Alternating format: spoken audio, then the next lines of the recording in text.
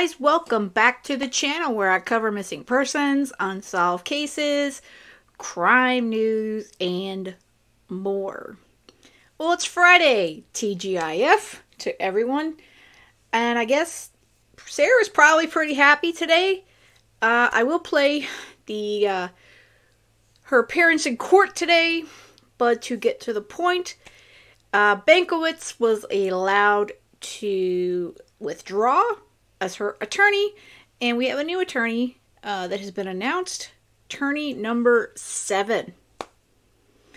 I don't know if we've ever had anyone have as many attorneys as Sarah Boone. That said, uh, she wrote some letters again. This was actually before today's hearing to to Judge Wooten, and she wanted to express all of her concerns yet again with Bankowitz and her case. So I'm going to go through that. It says 16 pages on the Google Doc, but it's actually 8 pages because for some reason they skip a page in between. I, I have no idea why. Alright, so this was actually this is actually written on August 26th. Um, it was filed on the 7th of uh, September, which was yesterday, Thursday another um, handwritten Boone uh, special. Uh, she states a hundred more days of no communication. And of course, she's addressed this to Judge Wayne C. Wooten. Reese Sarah Boone, and there's her case number. Judge Wooten, how do you feel about your attorney withdrawing? During an attempted video visit by a misrepresented, shifty reporter, and she has that in quotes, this is how I was made aware of my quote unquote attorney, Frank J. Bankowitz, cowardly and for the second time trying to ungracefully bow out of my case. So I guess she wasn't told by Bankowitz first, which that that's really kind of crappy to be honest with you. Regardless of how he feels about her, he should have told her first. Mr. Matt Johnson Please honor the integrity and ethics of a real reporter and not camouflage yourself as my quote unquote friend in order to push your way through the rules and regulations of the correctional facility. Quote unquote professional is also an option when scheduling, but cl- clearly does not pertain to you. Just don't schedule at all, as I have nothing to report to you or Court TV altogether. Yeah, she's a real fan of Court TV, as we all know. You're not even a real news channel and only add to the confusion and hysterics wrongfully, illegally, and inappropriately concocted in my case. Do not contact. So she doesn't want to speak to Matt Johnson. I guess that's pretty clear. From my perspective, Am I surprised my attorney is trying yet again to give up completely? No. Is it a blessing?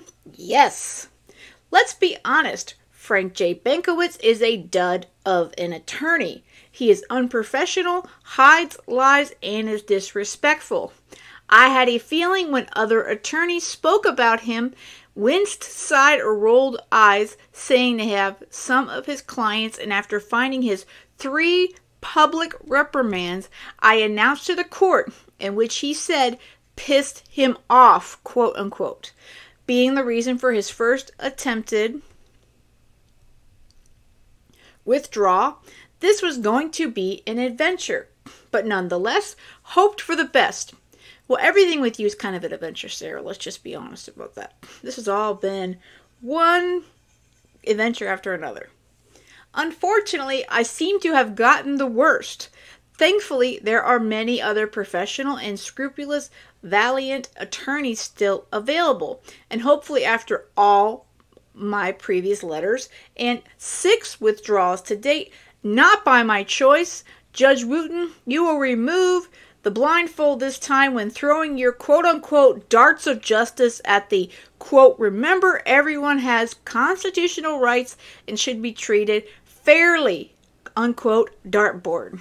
And you wear glasses, so let's go for the bullseye. Please?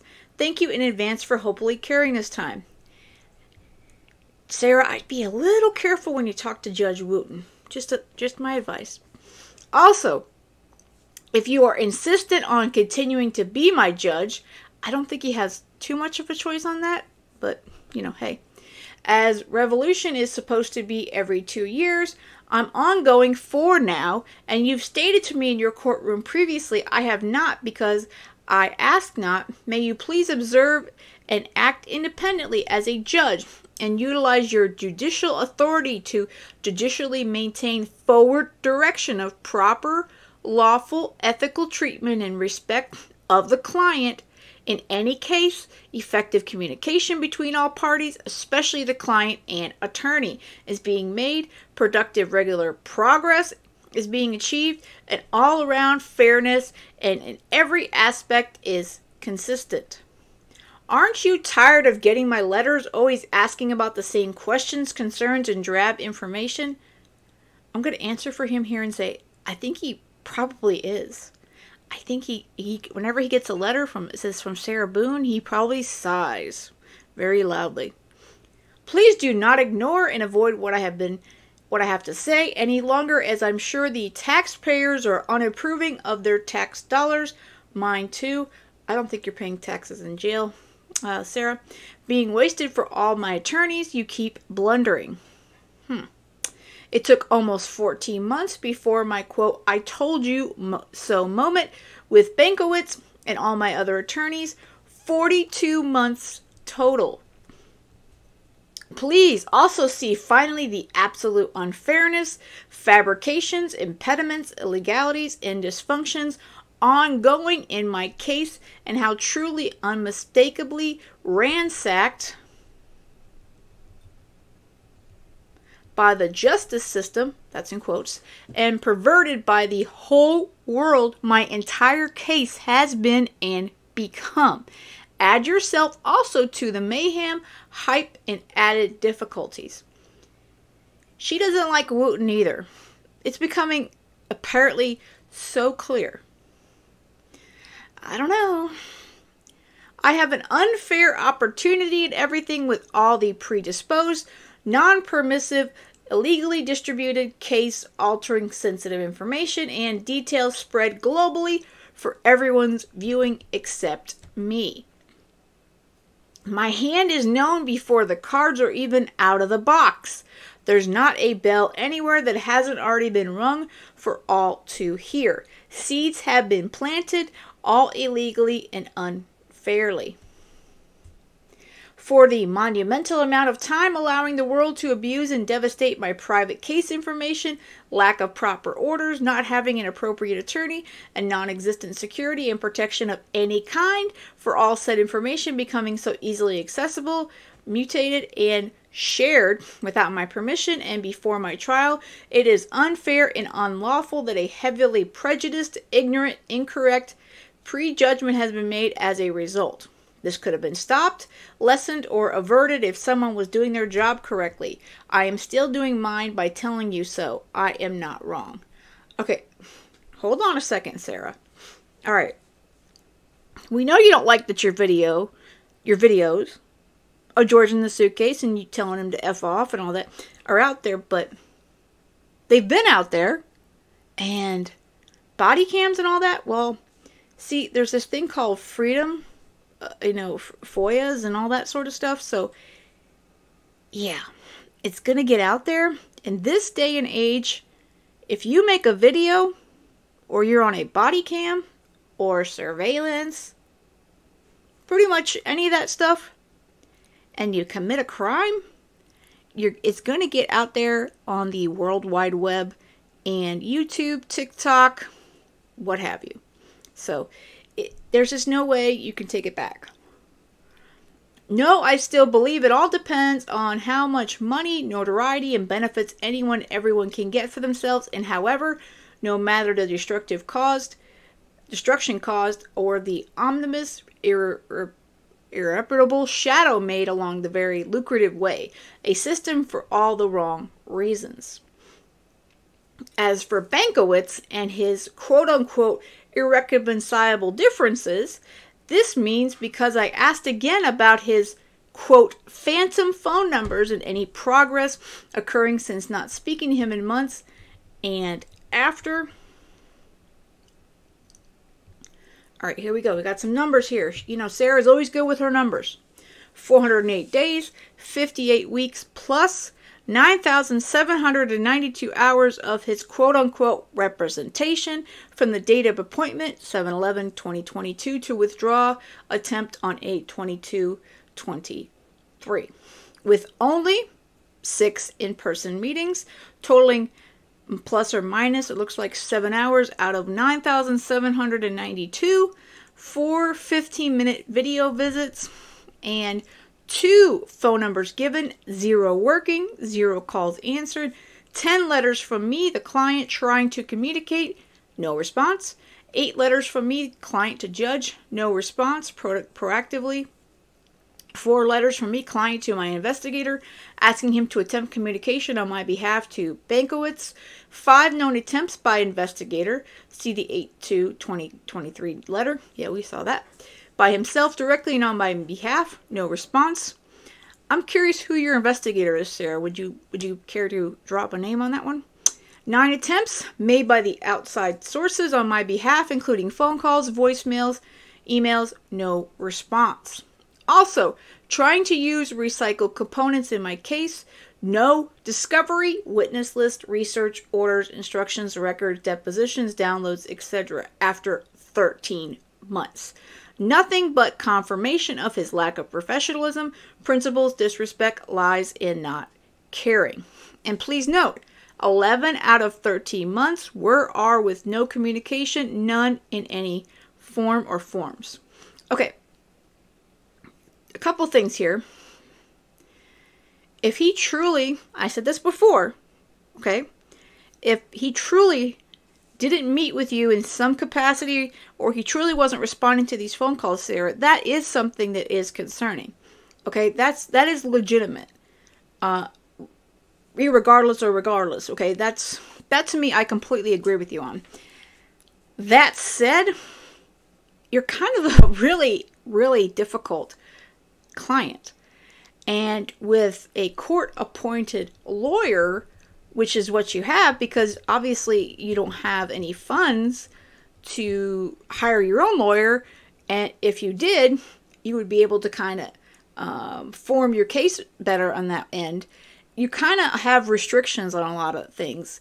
Uh, most of these attorneys have multiple cases on the table, and they're just doing whatever they can for each of their clients. But I will agree with the one thing that Bankowitz doesn't seem to have communicated with you well enough. That said, I just think the two of you have butted heads way, way too many times, and I think your letters are a big, big part of the issues. The only difference is I want progress, productivity, honesty, respect, and results. If he were such a professional attorney, those are in quotes, from the beginning and not selling me on his quote unquote stable of witnesses, historical background, and all his abundant resources, he wouldn't be still avoiding and covering his behind covering behind his now second attempt to withdraw. Number two per motion to withdraw. Clearly everyone can see anyone not lobotomized. Not sure why she put that in there. In my slides, would be highly unsatisfied with Bankowitz's overall performance as an attorney. See prior data. Yeah, we've gotten a lot of your data. That I can tell you. And no dedication has been made on his part in my case or any productive progress or effort. What time has been put forth solely? The 7 out of 7,792 in 13 months. Number 3, promotion to withdraw. And as I reminded Bankowitz during one of four video visits and him repeatedly telling me how busy he is with all of his other murder cases after again no communication for months, I politely raised my hand to the camera where he could see and said, Murder case. I am your client also and have been. When do I get to go to trial like the other clients? He said he had to think about everything and disconnected. No word since. 100 days later, except for the withdrawal I learned about from court TV, not him.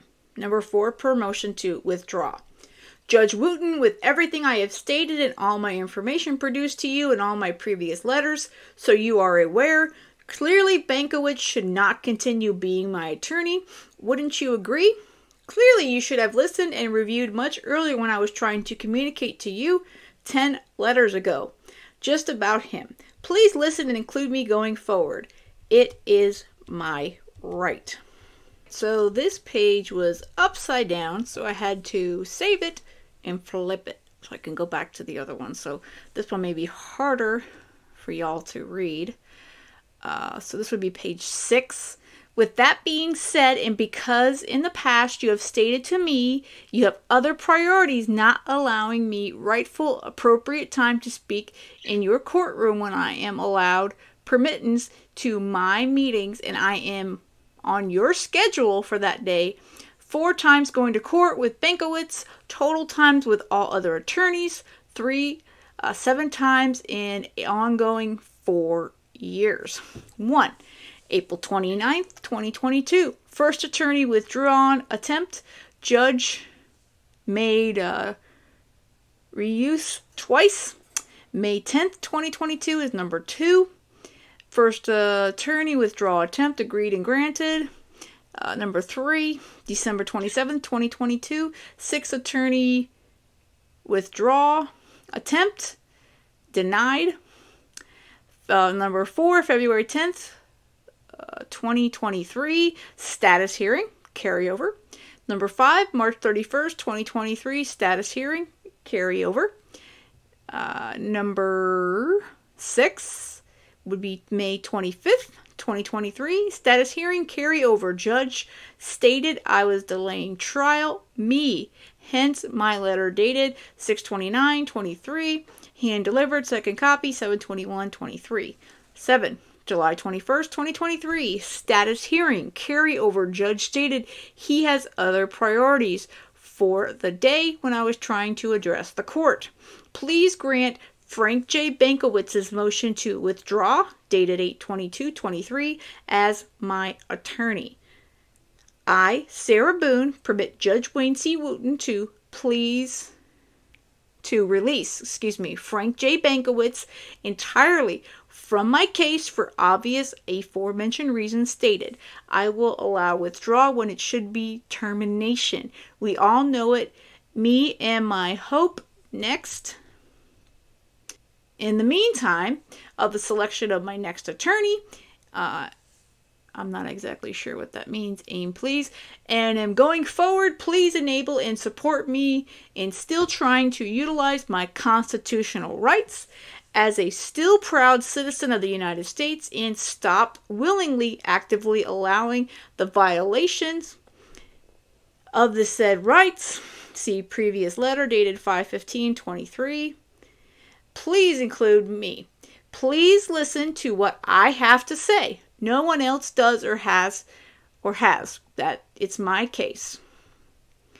Yes, Sarah, we are quite quite aware it's your case and uh Again, she is very, very organized in all her numbers, her dates, completely.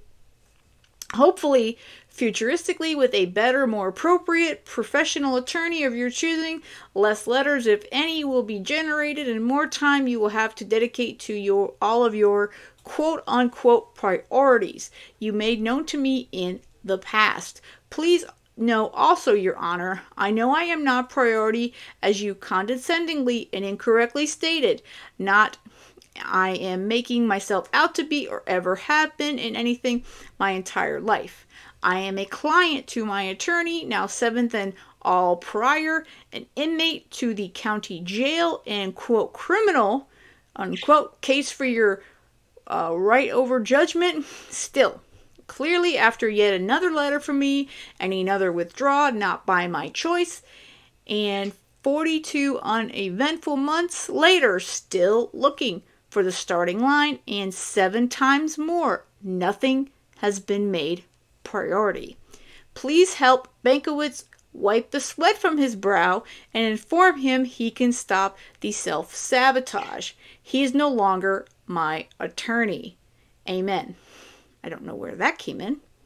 My perseverance is real, so is my truth. I can't wait to meet the bullseye. Court appointed.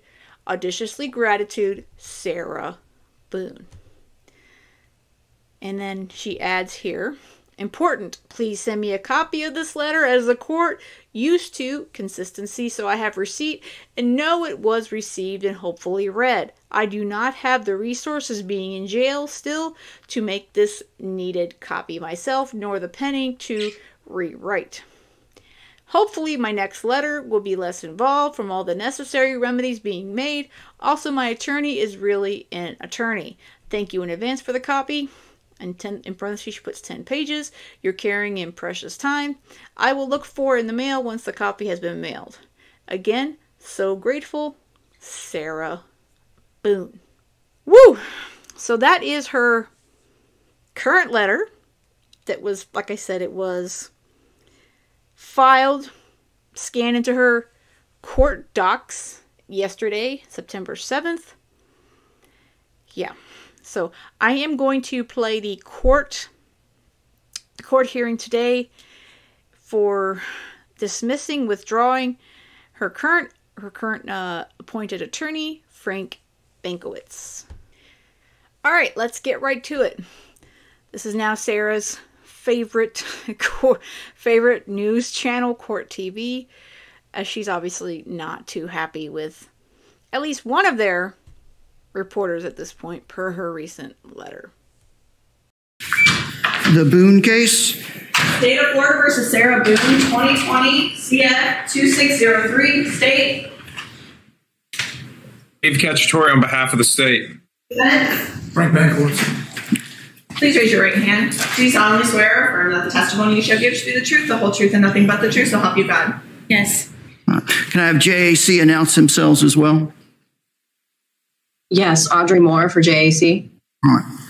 So we have multiple matters scheduled uh, this morning, one of which is Mr. Bankowitz's motion to withdraw. My reading of the law is I feel like I have to address that motion first and rule on that before I can address any other motions that would be uh, heard today. So, Mr. Bankowitz, I'll start with you. Tell me why you're moving to withdraw. Judge, the, le- the letters that have been coming to your honor, uh, the derogatory berating of my services in this case, uh, I can't effectively represent her.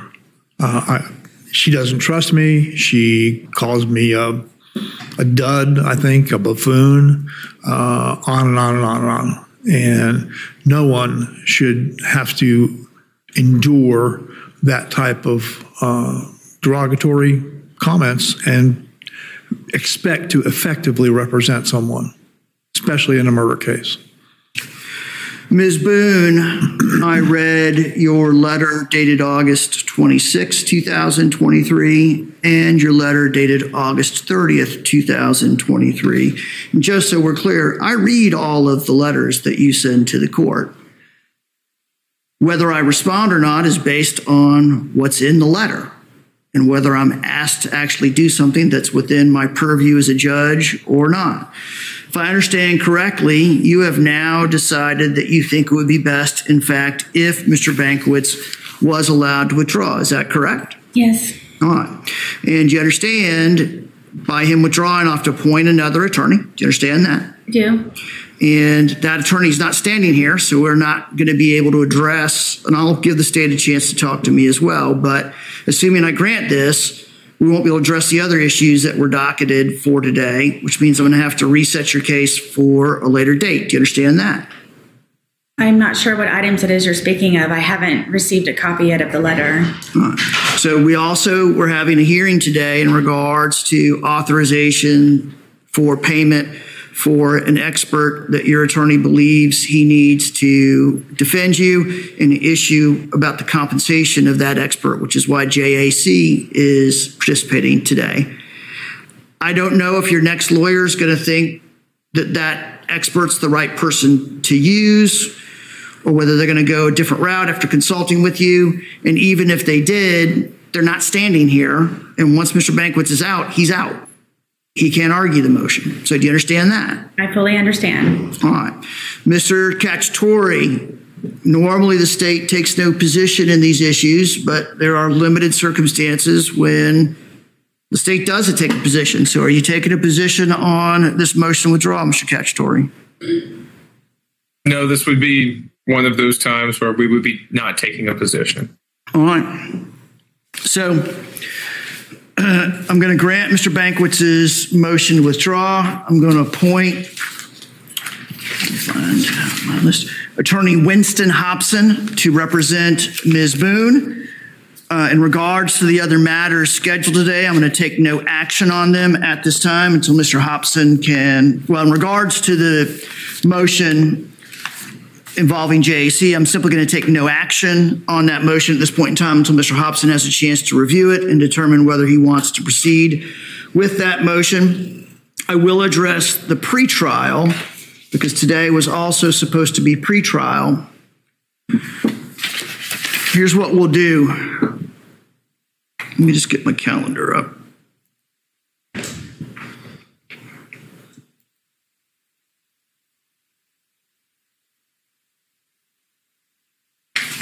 As far as pretrial conference, I'm going to set this case for pretrial conference on Tuesday, November 28th, and a trial period starting Monday, December 11th. I think any earlier period of time would be unrealistic for Mr. Hobson to get on board, get up to speed with the discovery, and determine how he wants to proceed in regards to any experts. But I will set a status hearing on the case prior to that.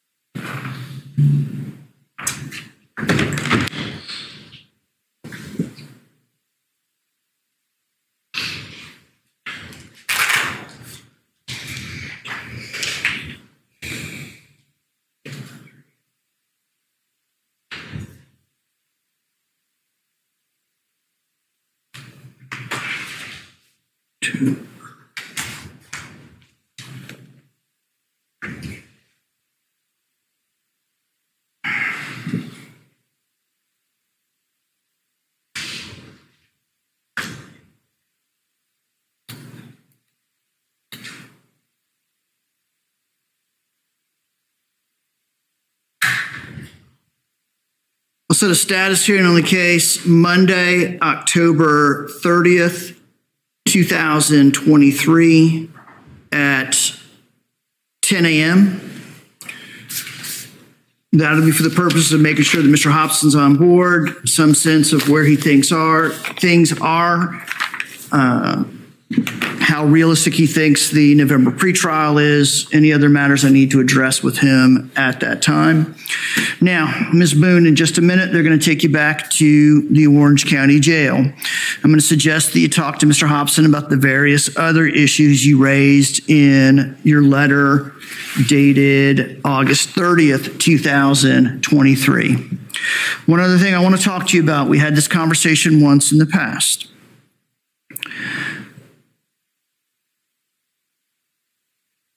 Clearly, your working relationship with Mr. Bankowitz was such that it deteriorated to the point where the two of y'all just couldn't work together to defend your case.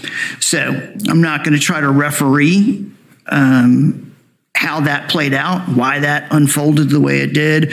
But one thing I want to caution you about if this becomes a problem on another court appointed attorney, I'm going to look more closely at what the alleged disputes are. You have a right to a court appointed lawyer. There are certain decisions a defendant gets to make in the defense of their case that are absolutely theirs, such as whether they go to trial or not, such as whether they testify or not. But there are many decisions in a case that a lawyer gets to make. And while you certainly have a right to consult with your lawyer and discuss with your lawyer, they don't automatically just do whatever you say. They use their professional judgment and experience and look at the evidence, look at the law, and do the best they can. Also, you've got court appointed counsel. As I've explained to you before, court appointed counsel rarely have the luxury of representing one person. And only having one case to focus on. I have concerns that your expectations of what any court appointed counsel might do as far as spending time with you and the depth and degree of communication may be unrealistic expectations. You always have the right to retain a lawyer to represent you, and then that's between you and that lawyer. You can demand whatever expectations that you have as part of that agreement. But when it's a court appointed lawyer, you have to accept and understand that they have other cases, other courtrooms, other responsibilities.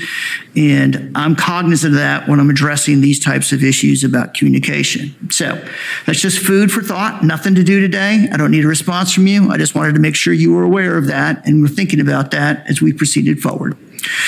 So again, the court minutes reflect that I am court continuing pretrial. I have granted the motion withdraw. I have appointed Mr. Hobson to represent the defendant, and I'm taking no action on the motion, the ex parte motion for uh, cost directed uh, where JAC is responding. Ms. Boone will be returned to the Orange County Jail pending disposition of her case. So, we have a new attorney assigned to her case. Bankowitz gets what he wants, which is to withdraw, and obviously Sarah is totally on board with that. So the two of them are basically butting heads. So Judge Wooten said, fine, let's just do that. However, he's warning her that that if this becomes a problem with this next attorney, well, that may be a whole nother story. She doesn't look too pleased from what I can tell about what he's telling her about how these are court appointed attorneys and that they can't spend all their time with her. That said, I hope uh, uh, the next attorney, which is Winston uh, Robson, works out uh, better for her. I did look up the attorney, uh, Orange County, uh, this attorney, and there's not much information on him that I could find thus far. I'm going to continue my research to see what I can find out about him. Uh, but obviously, he's with the Florida Bar, and he's, uh, believe he's been practicing for for quite some time uh, in the area. So uh, we shall see how well uh, these two, how this new attorney rather works with Sarah. But I, I honestly do hope that this works out better for her. You know, you know, I'm. It's just so February February is going to be 4 years that this this this a whole thing happened, you know, and yeah, yeah, we had the the pandemic eh, and all that, but I think that this trial, well, first of all, I think my personal opinion is that she could have pled down, but unfortunately, I think that I'm going to assume that that's been suggested by at least more than one attorney but um, I think if she would have tried uh, earlier on to um, potentially plead down to maybe involuntary manslaughter or, or what have you, which is like a 10 or so year sentence, and she might have gotten good behavior, maybe like eight, seven, eight years. Um, and she's been in there almost four, so she could have been, you know, halfway through her sentence, you know, really. Uh, but you know, I mean, I think of her son, you know, because he's like, he was in, I believe, in elementary school when this happened in 2020. So it's like, I don't know.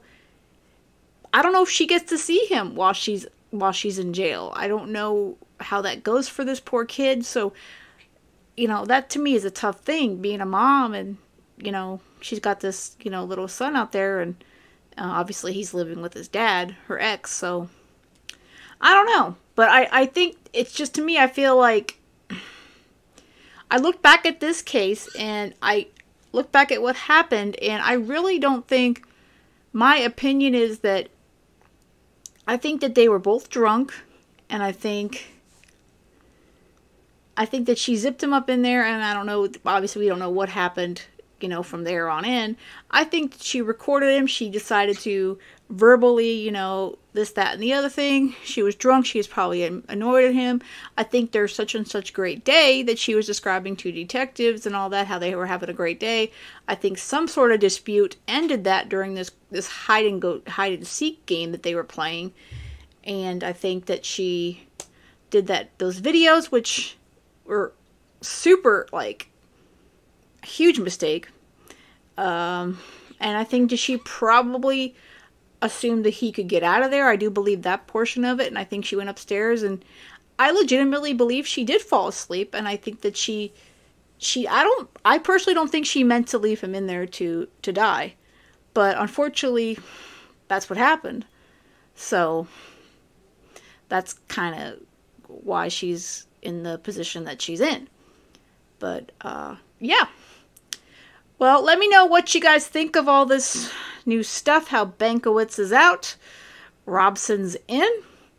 I'll uh, keep looking up some more information on the new uh, attorney, and I'm sure we'll hear more about that in the coming weeks. So it looks like uh, October 30th. Uh, by then, we'll hear something from the new uh, uh, attorney, and I guess we'll see what's going on, see if he keeps this battered spouse defense or if they decide to go with some sort of other defense. Alright, guys, again, let me know what you think in the comments. And with that said and done, that's all I've got for this one. I hope you have a great rest of the day. And most of all, stay safe.